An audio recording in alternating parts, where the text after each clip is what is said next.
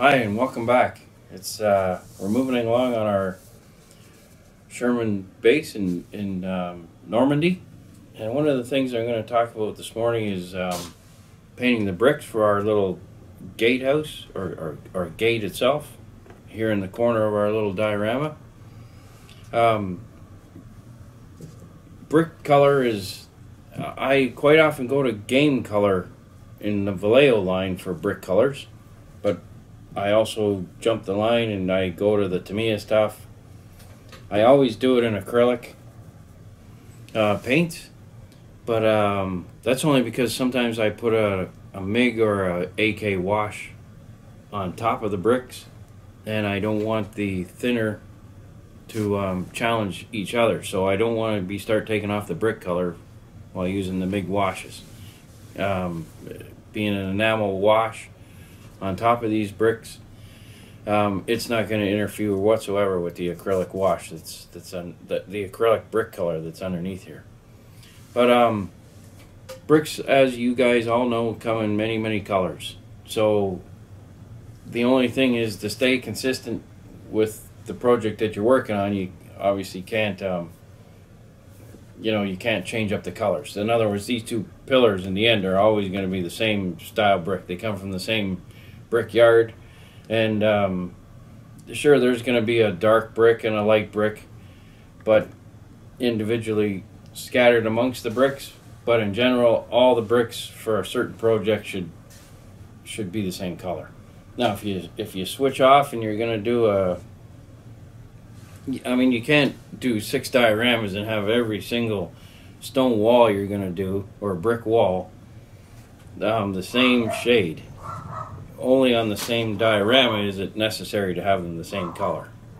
So you're you're just gonna if you don't do that, you're gonna be bored out of your mind painting all your bricks for six different projects, the same paint jar. So get familiar with these colors and then switch them up every project. Like for instance, Dave's and my Normandy project.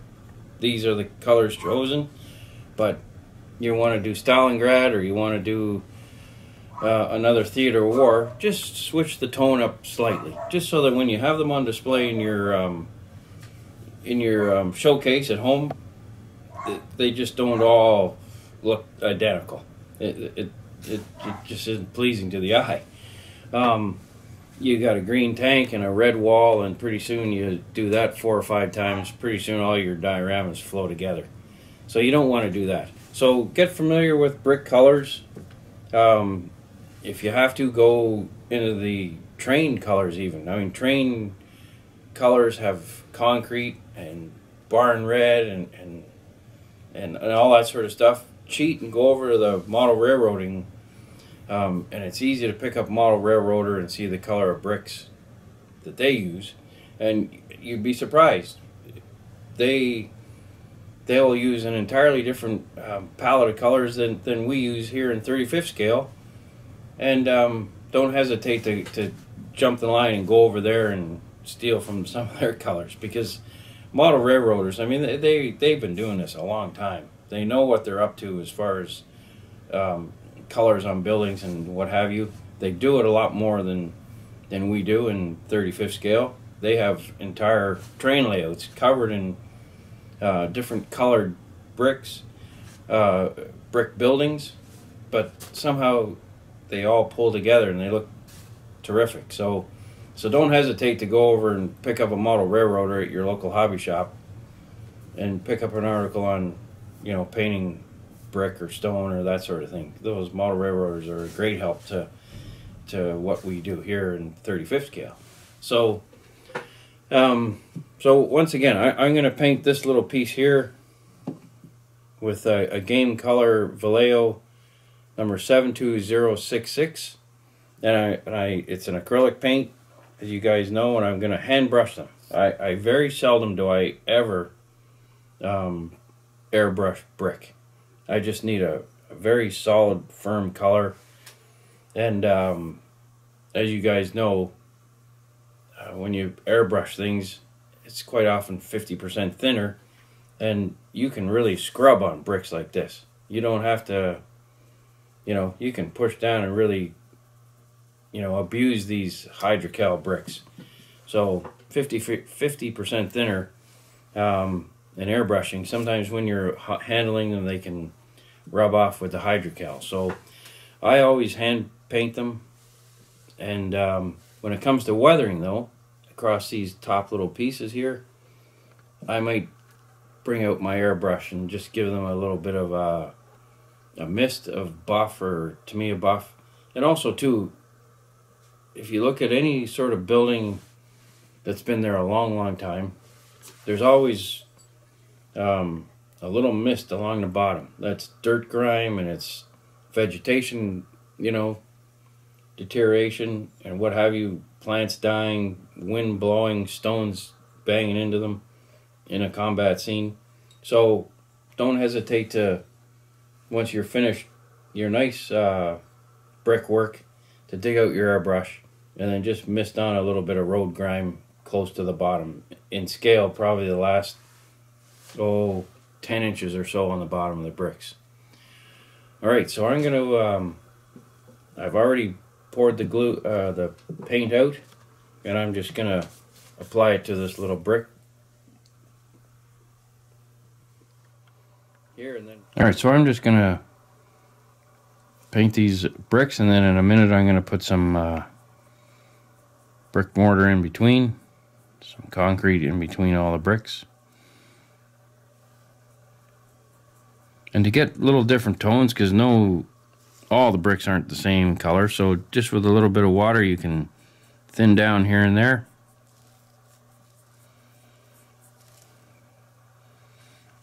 Of course, it's made with white hydrocal, so here and there there's always some white filling to do. And the, they can't flood it with water. I just use the water to fill in the cracks. Simply because it is hydrocal, it will soften the water. You'll lose some of the detail. Now these Barbakan brick sets are pretty firm. The hydrocal used here is pretty tough, but nevertheless, water can affect it. If, if you flood it with water, you'll lose the great detail.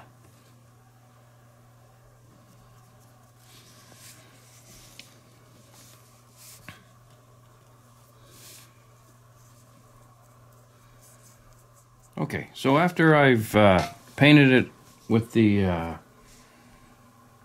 with the tan color, the game color tan, then I'm going to take Vallejo uh, 73113 light slate gray, and this is going to be my cement, my brick mortar, and I just I just get it on there, jam it into the cracks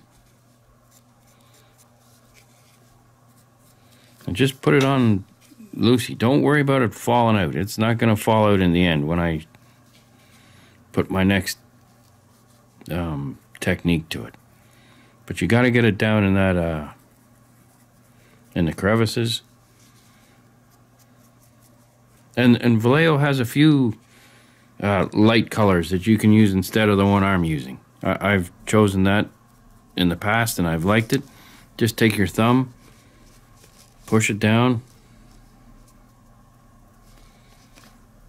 So I'm pushing on these bricks here. Then we can get a little more on.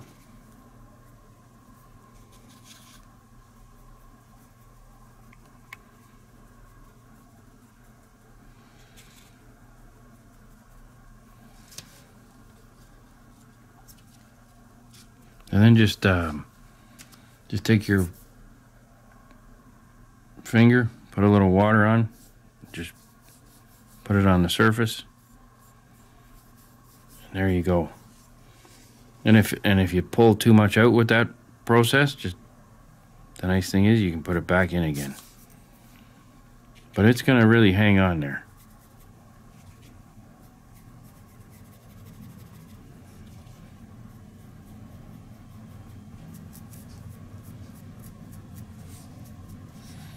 So let me go around the uh, the post, the the gate post, and I'll go around to that, and then I'll show you the next technique, which will be to once again airbrush. Now there's a reason why the top is not painted, because it's my handle for holding on to it while I apply these things. if I painted this, my fingers and oil on the fingers would take all the paint off of the top here. So leave this unpainted till the end. But you can see how you can very easily manipulate it by not um, painting it top and bottom. So anyway, let me um, go around the thing and um, then we'll come back and we'll, you know, we'll, we'll scratch some bricks with another color, darken it up here and there, and then, um, and then we'll airbrush a little bit of dirt grime on the bottom. So let me finish off doing that and then we'll okay, come right so back. I'm also going to change up some of the colors in the bricks. Just not too much, but bricks aren't exact. They come out of the kiln a little color different than another. So just randomly pick a brick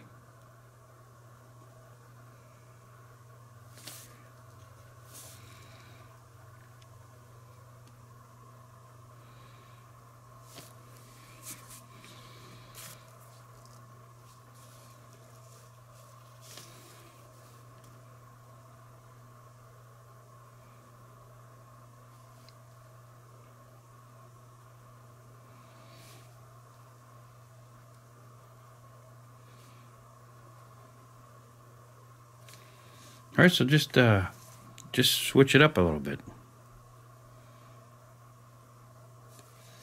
And in this case, I just used uh,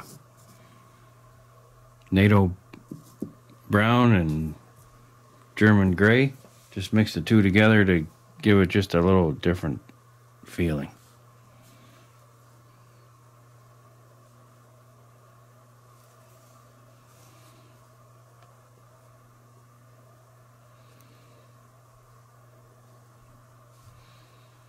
Just remember when you're doing this sort of stuff and you have two columns involved, um, make sure that your palette stays the same. So so keep it marked somehow so that um, if you do one brick uh, column this week and one the next week, you know exactly the colors that you used because you don't want them to be you don't want them to be different.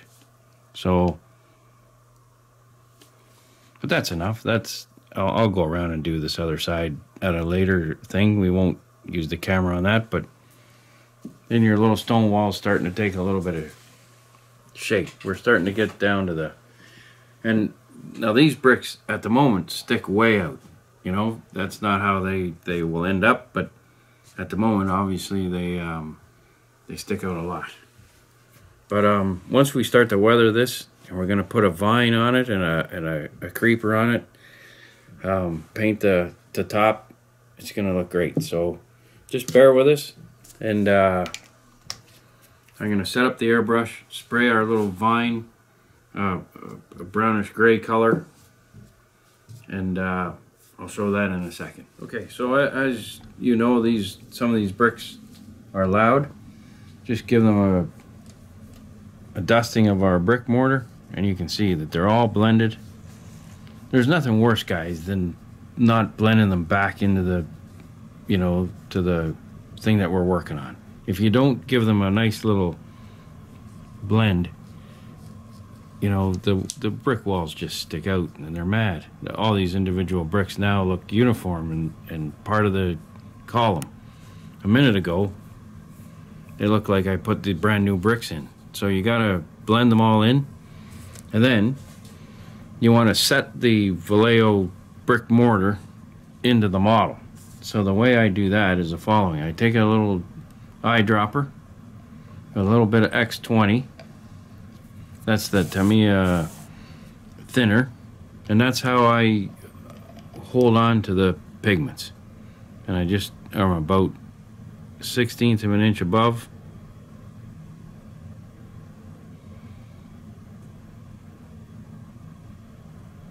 just let it it's got a mind of its own it's just going to follow the cracks. And this is this is the adhesive for the for the brick mortar. It's not going to wash out. You're going to wake up tomorrow morning and it's going to be all back to the way you left it once this stuff dries. You can see it's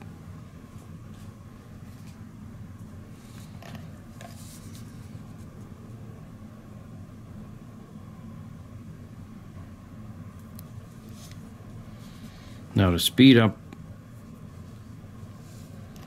I'm just going to apply the hair dryer to it. I'm just going to let it set in a little bit because the hair I don't want the hair dryer blowing off any of the stuff, any of the pigments. So just let it sit for a couple minutes. Put your hair dryer on it, and then um, you know it'll be ready for a, a few more things. We're going to add some vines and and things to it, and we'll paint the top, and um, yeah, it's going to look fine. So and then we'll apply it to our Okay, little. so another added um, bit of the brick color, uh, burn umber, seventy three one one zero for Vallejo, and I just put it in the tray, put a little bit on my finger, and I'm just going to rub a little bit. It's just going to alter the brick tops a little bit. And again, this is there's a little bit too much there. But again, it just adds a little bit of texture to your model.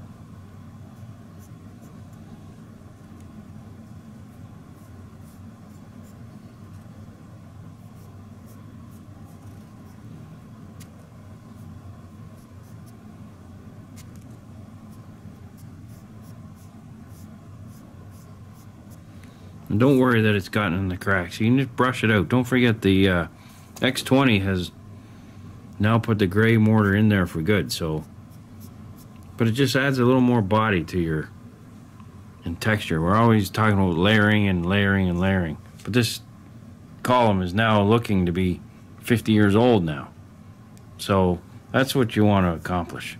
So just and if you mess up and screw up, don't worry about it just take out your your first color uh, tan and just paint over the whole thing again and start again. Don't try to take it off with water. You're gonna lose the detail. Like these are very sharp um, 35th scale bricks. And you and if you start fooling around with water and thinner you're gonna lose the detail. So just take your tan and and a little bit of water. Like I'm talking 5% water. And just give it a wash again and start again if you if you feel you've blown it but it's hard to make a mistake on these things. But like i say another little bit of texture on here with this new color this burnt umber is a great little addition. So like i say pretty soon you're looking at a a 50 year old column here. So just keep going. I'm gonna just add the the light brick mortar where I've missed. And then we'll put some vines on it.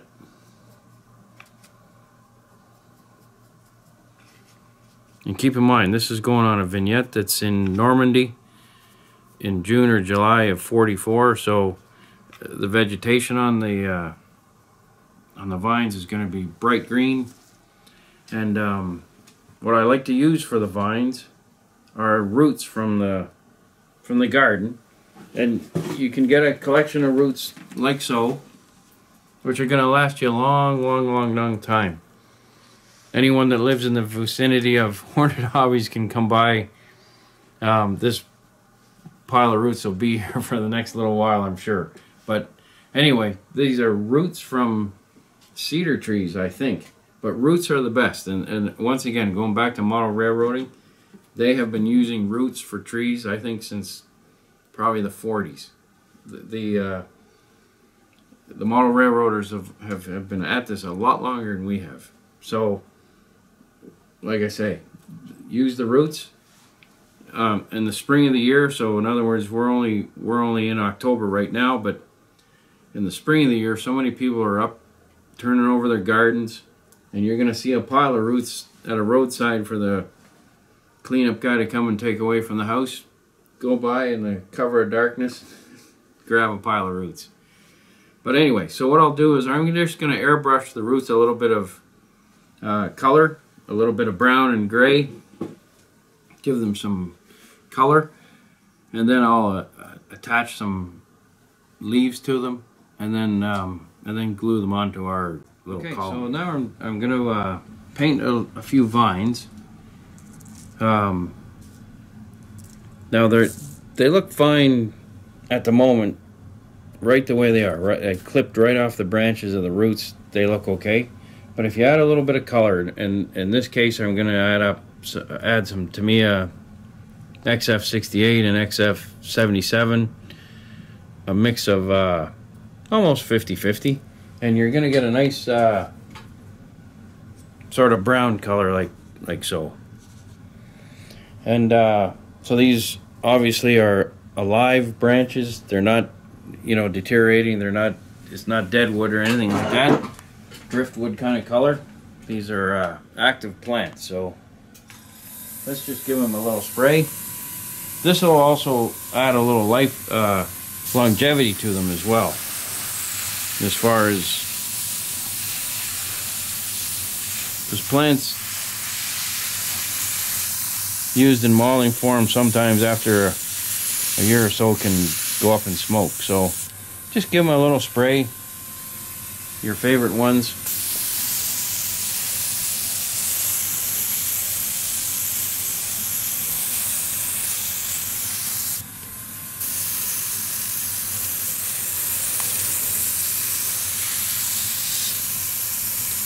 We'll add a few leaves on. I'll just do one more.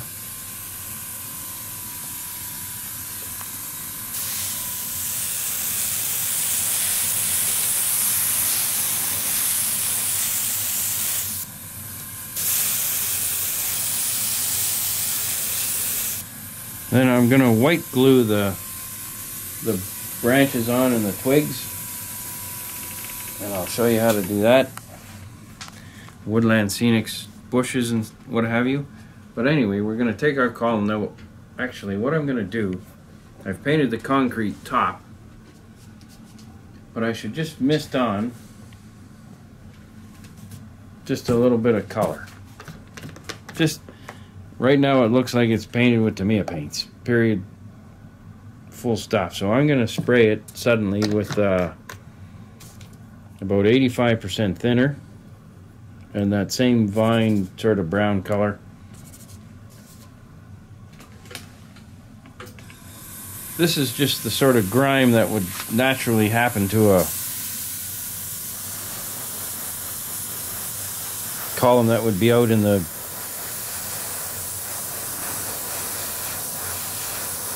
out in nature for 50 years.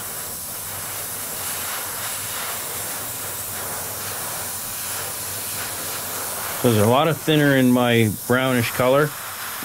Underneath the ball, you might want to put in a little extra shadow, but it just gives it that dirty kind of look. And then, and then if you've gone too dark with the color, don't worry, just bring it back with a little bit of light color. So and then as we progress along in the next video or so, once we start adding on all the groundwork colors and the vines and stuff, we may take a little bit of khaki number 49 Tamiya and just mist it on a second time. But right now, let's just uh, attach the vines. That's a great looking tree. I think we'll use that as a tree in our little vignette over here. So we'll keep that one. But all you have to do is just white glue these onto our little model here. So I'll go get some white glue and nail these down. And, and these are going to have to sit for a minute or a little while actually. They're going to have to sit all day until the glue dries. So it'll be the last thing we do on this particular showing. So let me get the uh, the bond and I'll anchor it into the into the um, column. Okay, so what I've done is I've actually changed my mind. I'm not going to use Titebond on this. I'll use a little bit of uh, CA glue. Just going to put a little dab down the bottom. And don't worry that this is suddenly going to come up glossy. Because the reality is it is going to come up glossy, but that'll be instantly fixed.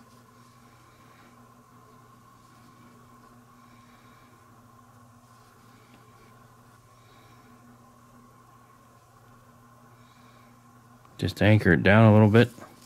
And don't worry about the extension here. I'm just going to nip that off with my uh, with my tweezers.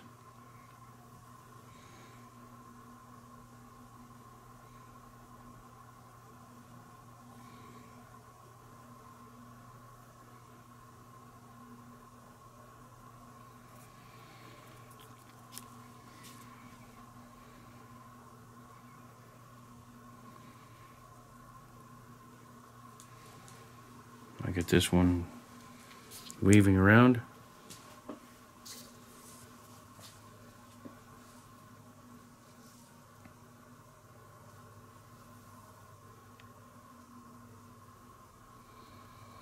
I mean, it is, after all, nearly Halloween, so let's make it a scary branch.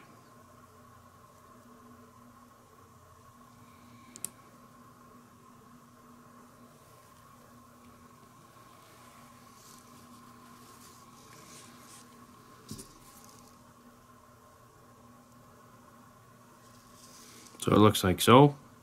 Just let that glue set for a minute.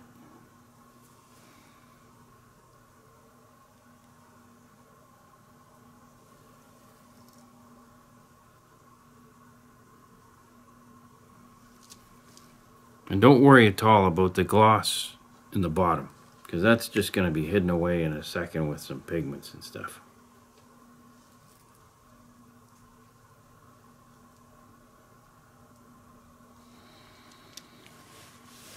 So that's how it's going to sit on the diorama. And then I'm going to put some leaves on it once this thoroughly dries because putting the leaves on it and what have you are, is going to take a little bit of moving around and stuff. So just make sure this is anchored properly.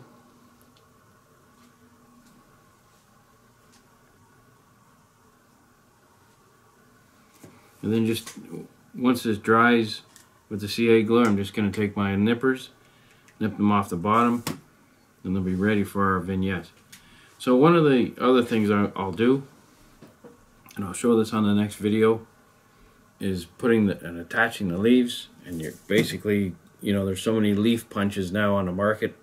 You're going to pick your favorite ones and just, you're just going to place them around. And you're not going to have to place too many. But in any event, I'm going to let this sit now for a little bit to dry. And then um, We'll okay, right so back. one of the next steps will be to just add that little uh, base of everyday grime to the bottom. And the reason I'm doing this now is because once I'm going to also put grass and what have you, this beautiful static grass is all going to be up and around here in the bottom. So I want to get the paint on first. So just, and I have just Tamiya buff I think the number is 57. And it's just going to crawl up the bricks a little bit. Make sure you go all the way around. And of course this is loosey-goosey on my base at the moment. So I could take it out and do it, but I want this color also to match the groundwork perfectly. So just go around.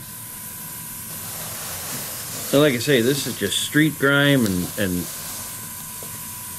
50 years of vegetation growing up and falling off and winters. Normandy has a winter, a bit of snowfall.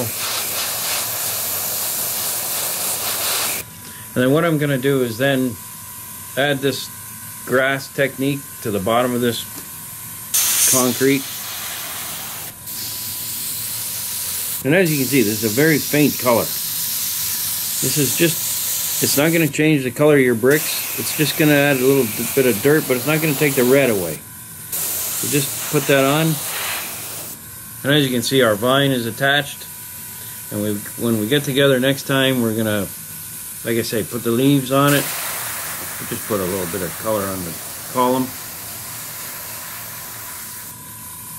And uh, one of the other things I think that we should do is also put an address on these brick. So I'll show how to put that on. It's no big deal to get the address on there. I just take sprue, um, Tamiya sprues or airplane sprues or whatever and just chisel off the numbers off the sprues. You know, there's piece number four, five, six, whatever. You just chisel those off with a chisel blade and then add the numbers, paint them appropriately, uh, probably uh, maybe a brass color or anyway, a dark iron color. And then just, we'll put an address on here. And all those little teeny little address type of things and, and you know, maybe a, different little ground cover things. It depends on the exact position of the Sherman. So I'm not going to suddenly add stuff without the Sherman being here, Dave's Sherman. So those things won't be added, but certainly the the address label will be added. And uh, and like I say, um, next week we'll add the foliage to the to the vine, and a few of these dead ones. We'll add a few um, dead leaves to it, and then uh, Dave Sherman's about to arrive. We'll we'll talk about the painting of the groundwork and the marriage between this road and the uh, and the setting in Normandy's you know field here. So there there'll be grass clumps along here, of course, and and just steady roads next to fields, and you'll see, you know, use that as a reference point. Anyway, thank you very much, and we'll see you next week.